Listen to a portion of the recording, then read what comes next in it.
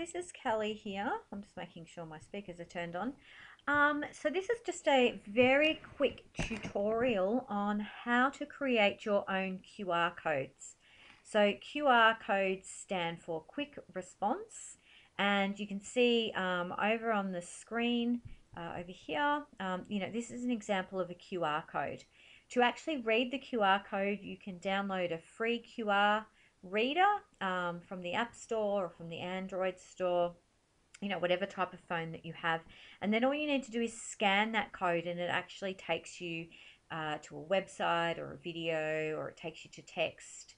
Um, so you can use it for things like um, having a treasure hunt um, around the gardens and they get to the next clue and they have to scan it and, and work out the answer and then they move on to the to the next clue.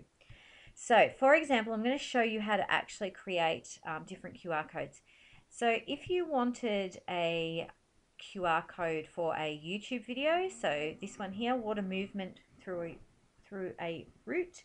So all you need to do is you just need to copy the address there if you come back to the QR generator. And you can see here down the side that there's lots of different data types. So this is a YouTube video. And so all we need to do here is we just control V, which is um, paste, and we paste that link into there.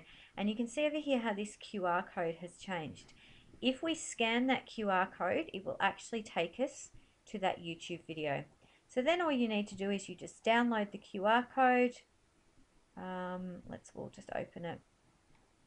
So it will download and then you can place that QR code into a document um, just by copying and pasting it um, and you can laminate them you know things like that.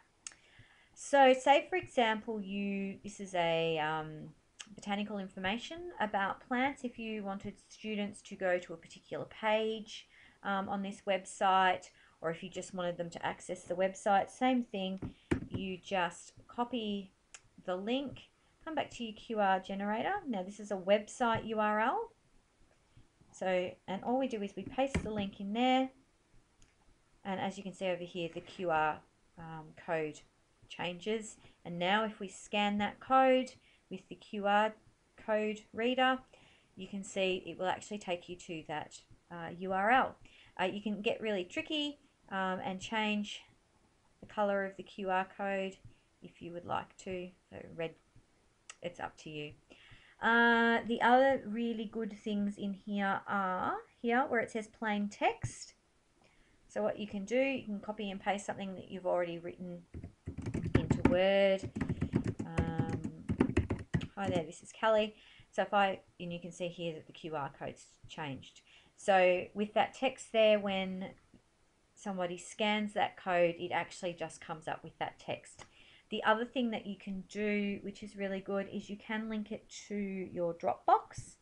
So here, Dropbox is a cloud uh, where you can store all your data, you know, offline basically, and then you can access it with lots of different um, devices, and it's free.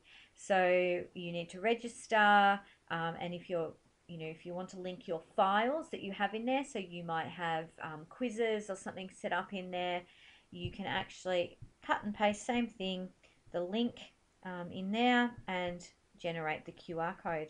So um, that's that's it. That's um, different types of, of how you generate QR codes, uh, which you can place around and um, generate, you know, different content.